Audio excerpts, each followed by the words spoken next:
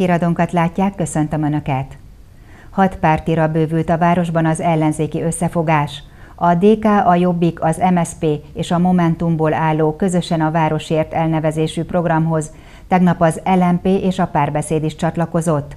A partnerség kibővítéséről tartott sajtótájékoztatón Sonfai Attila és Klinger László írták alá az együttműködési nyilatkozatot. A DK, a Jobbik, az MSP és a Momentum után az LNP és a párbeszéd is csatlakozott ahhoz a megegyezéshez, mely az őszi választásokon Gröber Attillát támogatja a polgármester jelöltségben. Az LNP Veszprém megyei koordinátora Sonfai Attila úgy fogalmazott a tegnapi eseményen, örömmel csatlakoznak az együttműködéshez. Úgy gondoljuk, hogy mint hogy az országban mindenhol máshol itt is együttműködésre van szükség, és az Attila személyében úgy gondoljuk, hogy egy megfelelő és rátermet jelöltet és egy mögötte a csapatot tudunk és szeretnénk is támogatni, és szimbolikusan akkor én is szeretném felragasztani ezt az együttműködés szimbolizáló logónkat, hogy mi is beálltunk az Attila támogatói mögé. A párbeszéd Veszprém megyei alelnöke Klinger László is kifejezte pártja csatlakozási szándékát. Párbeszéd Magyarország alapvetően az MSZP összefogás miatt is részese ennek a pápai összefogásnak, és Gröber Attila egy olyan megbízható és szavahihető ember, aki mellé teljes melszélességgel a párbeszéd Magyarország mellé áll. Gröber Attila polgármester jelölt úgy fogalmazott, ez a hatpárti összefogás nem csak lehetőség, komoly felelősség is, hiszen nem csak a saját politikai pártjukat képviselik, hanem az együttműködés valamennyi pártját. Ezért mind politikai mondani valójukkal, mind tetteikkel azt az összefogást kell, hogy szolgálják, ami azért jött létre, hogy egy új város teremtsenek. A sajtótájékoztatón az LMP és a párbeszéd is aláírta az együttműködési szerződést, majd Gröber Attila bejelentette, a hat párt a közösen a városért gondolat keretében szeretne politizálni. 2019. július 5-én, kezemben van a dokumentum, alapítottunk egy egyesületet. Az egyesület a Közösen a Városért Egyesület nevet viseli, és ennek az egyesületnek a bejegyzését kértük a Veszprémi törvényszéktől. Az egyesületet azért hoztuk létre, mert azt gondoljuk, hogy azok a politikai pártok, amelyek itt most együttműködnek az önkormányzati választásokon, azonnak az együttműködése tartós és hosszú távú lesz, hiszen egy város akkor lehet irányítani, hogyha ezek a pártok képesek együtt dolgozni. Innentől kezdve mi közösen a városért fogunk dolgozni, a DK, a Jobbik, az MSP, a Momentum, az LMP és a párbeszéd. A sajtótájékoztatón újságírói kérdésre válaszolva elhangzott az is, vannak olyan pártok, akik megyei rendszerben működnek. Nincs a kisebb városokban szervezetük, ám a megyei szervezetben van aktív helyi, például pápai tagjuk. A csatlakozás is az ő javaslatukra jöhetett létre. Az együttműködés közös programját és az önkormányzati képviselőjelölteket a következő hetekben mutatják be. A 19. érem és fegyverbőrzéjét szervezte meg a Magyar Éremgyűjtők Egyesületének pápai csoportja. Augusztus 4-én már reggeltől várták a helyi, környékbeli és távolabbról érkező gyűjtőket a Petőfi Gimnázium aulájába. A régiségek, különlegességek iránt most is nagy volt az érdeklődés. A 38. Bakonyvidéki éremgyűjtő találkozó után a barok és a történelmi napokhoz kapcsolódva és később azoktól függetlenül szervezte meg érem és fegyverbőrzéjét a Magyar Éremgyűjtők Egyesületének pápai csoportja. A sorban a 19. alkalomra a pápaiak és pápa környékiek mellett a Dunántúl teljes területéről érkeztek érdeklődők.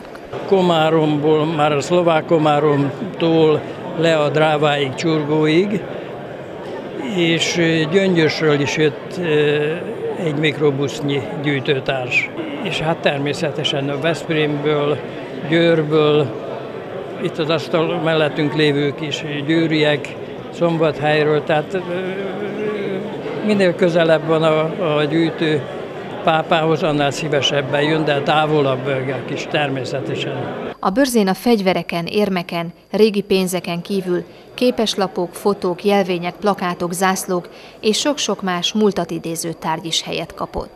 Az előbb vitt el egy hölgy egy nagyon szép porcelánvázát valamelyik asztaltól, mert azt is valaki elhozta, de ennek az intézménynek az igazgató helyettese kőzetet gyűjt, és természetesen ő azokat is kirakta. Különlegességek idén is voltak, bár a gyűjtőket elsősorban a gyűjteményeik hiányzó anyagai érdeklik. A bőrze alkalmat ad a személyes találkozókra, ami ebben a hobbiban lényeges is. Az internet világa mellett, ami, ahol, ahol zajlik egy eh, hasonló éjjel-nappal kereskedelem, csere, annál fontosabb nincs, hogy egymást, eh, egymás szemében nézve is lehet cserélni, eh, gyűjteni, vásárolni, és itt a legfontosabb az, hogy, hogy az ismerkedés. Tehát a, a városok gyűjtői egymást megismerik, találkoznak, meghívják egymást. A mostani bőrzére is készült különleges pénzjegy, egy éppen száz évvel ezelőtt megjelent 20 koronás bankómására. A vasárnapi programot ezúttal is kis árverés és tombola sorsolás színesítette. Borbé László volt a vendége a Gyurács Ferenc gondolkodókör augusztus elejé összejövetelének. Az agrármérnök, vadgazdamérnök, szenvedélyes vadász előadásában két legutóbbi külföldi útjáról mesélt. A svédországi és a spanyolországi vadászatának legizgalmasabb élményeit, tapasztalatait osztotta meg hallgatóságával. Borbély László magyar gencsen nevelkedett, hat éves kora óta járja az erdőt, egy idősebb vadásztól sokat tanult. Agrármérnök lett, majd vadgazdamérnök, és ő a Hertelendi Vadásztársaság elnöke. A Gyurác körben tartott előadásában két legutóbbi külföldi vadász élményéről mesélt. 2018-ban Svédországban járt, ahol jávorszarvasra vadászott. Jávorszarvast úgy kell elképzelni, hogy egy két éves jószág és olyan 300-350 kilós, tehát jóval nagyobb, mint a mi gímszarvasunk a kifejlett hímek pedig el 800 és 1000 kiló között vannak. Tehát, hogyha kérdeztük, hogyan veszük észre, jön a jávorszarvas, mondták, hogy meg fogjuk hallani, mert olyan, mintha gőzmozdon jönne. Az út sikeres volt, Borbély László elejtett egy szép példányt. 2019 elején Spanyolországba utazott, ott hegyi kecskére vadászott. Nagyon-nagyon messze, tehát hegyről hegyre kellett lőni. Mi itt ezt a Becites hegységnek két részén voltunk, az egyiket úgy hívták, hogy pokol, a másikat pedig purgatórium. Úgy gondolom, hogy az a két név elmond róla mindent. Az első nap estéjén sikerült egy 470 méteres lövéssel egy kecskét terítékre hoznom, viszont csak másnap tudtuk birtokba venni, mert nagyon hirtelen nyugszik le a nap, és már mire le tudtunk volna ereszkedni és átmenni a másik hegyre, az már több órát vett volna igénybe, és sötétben nem vállalják a vezetők a hegyi terepet. Borbély László vadászott már Afrikában is, de mint mondta, nagyon szereti Erdélyt, ahova rendszeresen visszajár. Kedves nézőink, műsorunk a Város velünk épül hírösszefoglalóval folytatódik.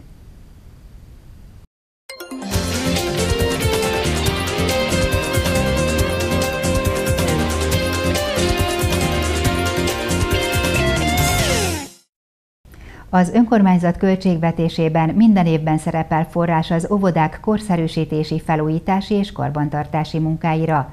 Ezek az intézmény költségvetésében vagy különtételként jelennek meg a büdzsében. Múlt évben a Huszár lakótelepi óvodára fordított nagyobb összeget a város, idén pedig a két tornyulaki óvodában zajlik jelentősebb munka.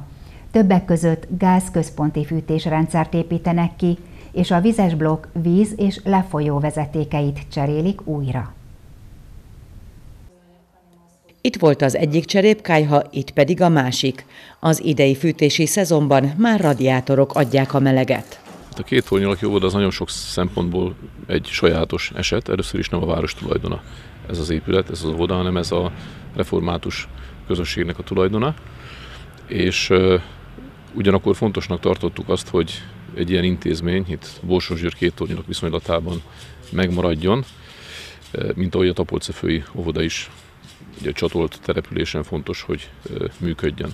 Ez az óvoda ebben a megörökölt állapotában rendkívül korszerűtlen volt, ugyanakkor az itt dolgozók nagyon elkötelezetten dolgoztak azért, hogy itt a gyerekek jól érezzék magukat, és én azt gondolom, hogy megérdemlik azt az előrelépést, azt a fejlesztést, ami most történik. Természetesen sokkal olcsóbban üzemeltethető, sokkal praktikusabb lesz így ez a, az óvoda is. Az idén itt a két tornyulaki óvodában zajlik a legnagyobb felújítás. Tudtuk meg Csákvári Judit intézményvezetőtől. Eddig cserépkájával fűtöttünk, és most ezt kiváltja egy gáz központi fűtés, aminek nagyon örülünk, mert itt tényleg tudunk egy olyan egyenletes hőmérsékletet biztosítani, illetve azért megszűnik az a probléma is, hogy a fa beszerzése, felfűrészelése, vágása, behordása, fűtés, hamuzás, tehát azért ez elég sok gondot jelentett, úgyhogy ennek nagyon örülünk. Ha pedig már ekkora bontással járó munkába kezdtek, más hasonló és szükséges korszerűsítést is elvégeznek. A szennyvíz vezetékeknek a cseréje, a mosdó felújítása, megújulása is meg fog történni, és emellett akkor már mindenképpen örülnénk annak, hogyha egy teljes tisztasági meszelés is kerülne az óvodában. A központi fűtésre az önkormányzat 11 millió forintot biztosított, a többi munka pedig körülbelül 2 millióba fog kerülni az előzetes kalkuláció szerint. Sok munkát a karbantartók végeznek el, de az óvoda nagyon sok önkéntes felajánlást is kapott a szülőktől különböző munkák elvégzésére, mondta el az intézményvezető. A kivitelezés négy hetet vesz igénybe. Az óvoda ez időre is biztosítja a gyermekek ellátását más tagóvodákban, de erre eddig nem volt szükség. Feltettem a kérdést, most várjuk majd a választ, hogy van-e esetleg olyan szülő, akinek szükséges, hogy ebben a negyedik hétben megoldja a gyermek ellátását, vagy pedig mi tudunk segíteni, felajánlatunk két óvodát, ahova szívesen fogadják és vihetik a gyermekeket. A két tornyulaki óvoda szeptember 1-től fogadja majd újra a kicsiket. Az óvoda felújítási, korszerűsítési munkák fontosak az önkormányzat számára, tette hozzá a beruházás kapcsán dr. Áldozó Tamás. A kisgyerekek két féle intézménybe járnak ebben a városban is, bölcsödébe és óvodába. A bölcsödénél most beadtuk a harmadik bölcsödére a rekonstrukciós pályázatot, bízunk abból, hogy nyerünk, és akkor a bölcsödéink rendben lesznek. Az óvodáknál is volt, amikor lendületesebb volt a rekonstrukció, hiszen volt, amikor egyszer három óvoda készült el még ezelőtt tíz évvel. Aztán azóta ilyen nagy lehetőségünk nem volt, tehát itt arra kell koncentrálnunk, hogy saját erőből folyamatosan biztosítsuk a forrásokat ahhoz, hogy jobb és jobb körülmények között lehessenek a kisgyerekek. A polgármester hangsúlyozta, erre a jövőben is megvan a városvezetés elköteleződése, és a jövő évi költségvetésben is számolnak ilyen tételekkel. Ivóvízvezetékcsere zajlik a Juhar, Bocsor, Nagysalói út kereszteződésében, emiatt teljes útzár van érvényben a csomópontban. Az 500 mm átmérőjű fővezetéket már kicserélték a leendő körforgalom alatt. Most a további vezetékszakaszokat építik. A kivitelezés szeptember elejére készül el. Roppant méretű 500-as ivóvíz fővezeték cseréjét végezteti a vízmű a Juhar utcai csomópontban. Amikor mi a vezetékcseréinket tervezzük, akkor mindig egyeztetünk az önkormányzattal. Hisz, mint látszik, a vezetékcserék azok elég rendes felbor, útbontással, meg felfordulással járnak, és ezt célszerű akkor csinálni, amikor egyébként utat építenek, vagy építünk mi, hogyha önszántunkból bontjuk föl, vagy csak mi miattunk kell felbontani az utat. Tehát itt most összhangban a városi tervekkel előre dolgozunk, a körforgalom alatti szakaszokat kicseréljük. A most kicserélendő vezeték szakasza a városi fővezeték része, mely Tapolca főről indul és a víztoronyhoz érkezik. Ennek az át, átmérője, a belső átmérője 500 mm, tehát ebben rengeteg víz van, és ugye nem lenne jó, ha ezzel valami probléma lenne. A teljes munka körülbelül 150 méter hosszú vezeték cseréjét jelenti. A kivitelezés jól halad. Feladatunk volt a várostellátó 500-as ivóvízvezeték egy részének a cseréje a leendő körforgalom alatt, ami a Juhar utcán készül. Ez kb. 100 méter hosszban el is készült már, tehát maga a főgerincet kicseréltük, új öntött vas vezetékre, amelyik majd a forgalmi terhelést jobban elviseli tolózárakat kell beépíteni ezekre a szakaszokra, tehát úgy készül a rendszer majd, hogy a körforgalom alatt mind a várost ellátó fővezeték, mind pedig az oldalvezetékek kiszakaszolhatók legyenek egy-egy későbbi esetleges hiba esetén. A további vezetékcserék a jövő hét elejére elkészülnek, de ezzel még nincs kész a munka. A fertőtlenítés és a nyomáspróbák azért azok eltartanak egy, még egy másfél hétig utána. Ezt követi majd a munkárkok visszatakarása? Igen, ezután tudjuk majd a nyomáspróba után, mivel ez egy nagyon ö, frekventált vezeték, itt a nyomáspróbát és minden egyéb cselekedetet nyílt árok mellett lehet megcsinálni, tehát nyílt árkos nyomáspróbát csinálunk, és amikor az majd sikeres, akkor kezdődik a visszatöltés és egy ideglenes helyreállítás. A jelenlegi tervek szerint szeptember elejére fejeződik be a beruházás, akkor nyílik meg újra a csomópont. Mint ahogy arról már hírtattunk, a Pápai Vízmű ZRT más városrészeken is végez vezetékcseréket. Téglagyári úton egy hasonló csomópont, ahol szintén körforgalom lesz, az elkészült, az a mi részünk abból úthelyreállítás nélkül 21 millió forint. Ugyancsak elkészült, tavaly indult, de az idén elkészült a Veselény utcai ivóvíz hálózat, ez 42 millió forint. Veselény utcánál van még egy csatornánk, és utána lehet az utat helyreállítani. Csatornánál viszont nagyon nehéz körülmények közt dolgozik a kivitelező, egyelőre még műszaki egyeztetések is folynak, hisz 4 méter mélyen van a csatorna, és egy ezreléket esik, ami azt jelenti, hogy egy méteren egy millimétert. Ha elkészül, akkor egy 78 millió forintos ö, újabb fejlesztésünk valósul meg. Aztán az Ányos Pál utcán van egy kisebb edekeszékes, kisebb volumenű szennyvízeleték cserénk, ez várhatóan a az év során elindul, 8 millió forintos összegben.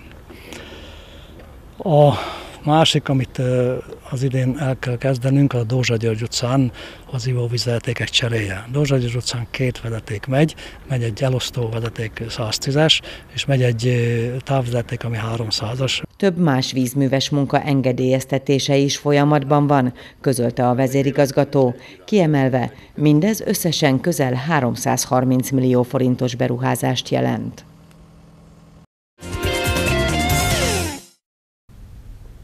Két héttel ezelőtt még a piac árusító csarnokának acélszerkezeteit építették, mostanra pedig már a szendvics panel elemeket is felszerelték. A munkálatok folyamatosan haladnak, információink szerint csütörtökön a csarnok ajzatbetonozása is megkezdődik.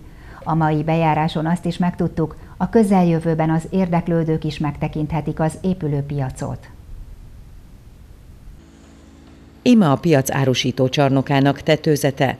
Az acélváz megépítése után a szendvicslemezek is a helyükre kerültek. Így egy kicsit barátságosabb körülmények között folyhat az építkezés, hiszen nem a tűzőnapon dolgoznak a munkások. Hát most hát tényleg könnyebb dolgunk van, jelenleg árnyék alatt vagyunk, tehát az nekünk is jó, meg a dolgozóknak is, meg a munkának is, és mivel hogy most elkészült a tető, most már következik alattunk az ajzatnak a betonozása, jelen pillanatban a, a szintezése folyik, az ágyazat, az ágyazatkészítés, dőlkellemezterítés, és reményeink szerint holnap megkezdjük a betonozást. 180 köbméter, ennyi beton kell a csarnokba, a munka pedig várhatóan két napig tart. Ez a bezsalúzott szerkezet kimarad most a betonozásból, ezt majd külön öntik be. A későbbi folyóka lesz ott elhelyezve, ami majd, ami, ami majd a, a takarításnál fog jelent, lesz jelentősége, mert amikor vízzel feltakarítják az egész piacot, piactér után, a folyókába folyik össze minden. A létesítmény szinte minden területén zajlik a munkavégzés. A dísztégla burkolat már csak nem teljesen elkészült, az üzletekben pedig a szakipari munkákat végzik. Az üzlethelységekben az ajzatszigetelés folyik, a vízszigetelés és a, hő, a hőszigetelés, és annak is utána, mikor az a betonozás itt kész lesz, akkor a következő lépés az lesz, hogy azoknak is az eszkikezése készül el, és valójában akkor már az üzlethelységeket majdnem úgy 90%-ban kész, kész leszünk, mert már csak a szerelvényezések maradnak. A zöld fal alapja is készen van már egy oldalon, most a szerkezet gyártása zajlik. Ez lesz egyébként az egyik legkülönlegesebb eleme a létesítménynek. Olyan zöld falat, amit építünk ide a piac körül, még nem láttam. És nyilván ez a zöld fal egy olyan uh, beruházási elem, ami nélkül a piac az tudna működni, mégis a, amikor a képviselőtársaim véleményét kérdeztük, akkor egyhangúan, egyhangúan mindenki, a, lehet, hogy már van, aki erre nem emlékszik vissza olyan szívesen, de mindenki azon az állásponton volt, hogy építsük meg ezt a zöld falat, akkor is ennek többletköltsége van, és azt a többletköltséget hitelből lehet fedezni, hiszen uh, városképi szempontból ennek van jelentősége, illetve természetesen annak is van jelentősége, hogy itt a sok beépített környezetbe minél több zöldet tudjunk elhelyezni. Áldozó Tamás polgármestertől azt a tájékoztatást kaptuk. Hamarosan a városlakóknak, érdeklődőknek is megmutatják az épülőpiacot. Érzékeljük azt az érdeklődést, ami mind a potenciális kereskedők, mind pedig a leendő vásárlók részéről megnyilvánul.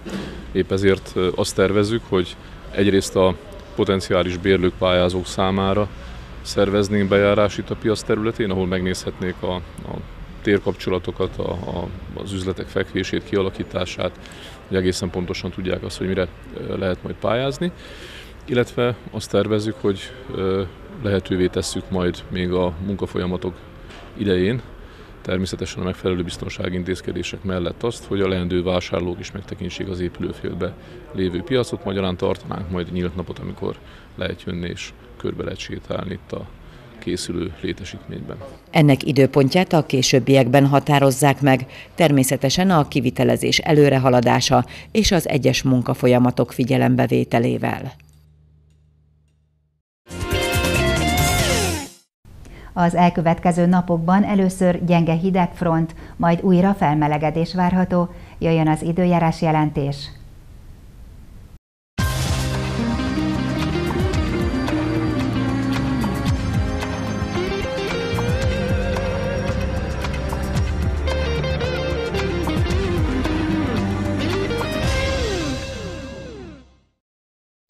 Csütörtökre egy hideg front érkezik hazánkba, ennek hatására többfelé megélénkül az északnyugati szél, nyugaton és északon pedig kisebb záporok, zivatarok várhatók.